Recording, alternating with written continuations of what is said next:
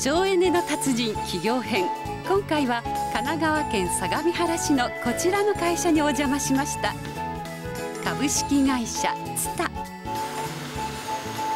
金属部品のリーディングカンパニーとして自動車や空調機など5000を超えるアイテムを製造してきました。しかし夏の猛暑でかつてない大ピンチに。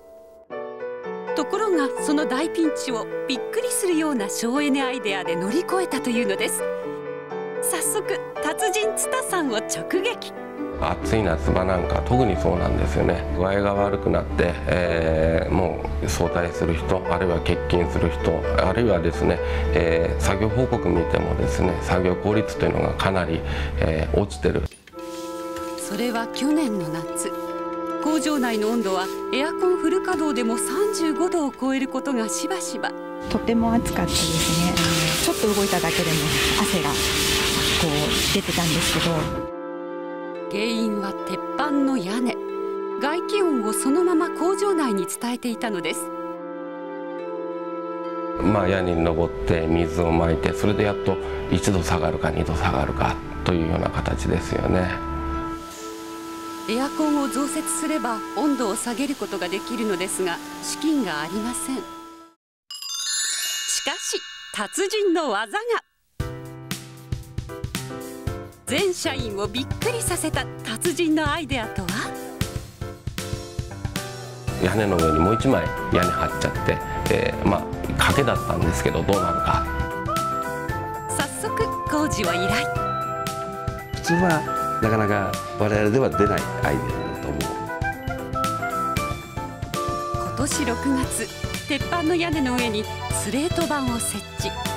達人の狙い通り工場内に伝わる熱を遮断できるのか。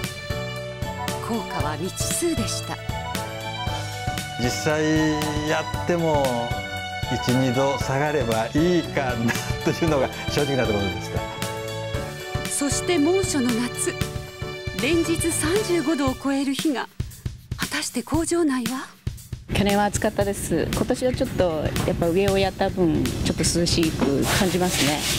今年は屋根等ができまして、えー、かなり涼しくなりました、はい、見事大成功。しかも省エネにも効果抜群外気温に対してですね、えー、やっぱり4度から、えー、5度ぐらいの差が出る。エアコンが今までですね、えー、能力最大にしてたのを、えー、10%減でその程度で済むようになりましたね。1割ぐらいは違ってくるのかなっていうふうな考えは持ってますね。そしてもう一つ。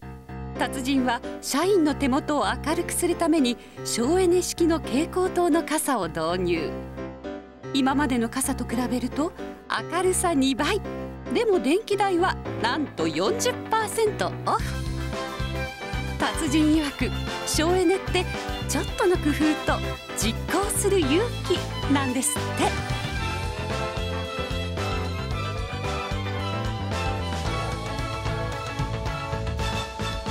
この番組は日本テクノの提供でお送りしました。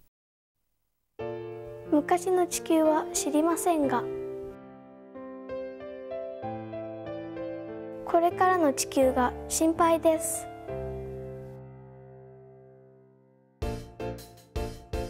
省エネは小さなことからできることから始めます。力強い味方が増えました。電気の見える化電気のわかる化を実現しいつでも上手な節電をアシストしてくれます。さらに電気の安心安全も24時間監視センターによる保安管理をお約束します。電気のことなら日本テクノにお任せください。私たち日本テクノはあらゆる省エネ活動を応援します。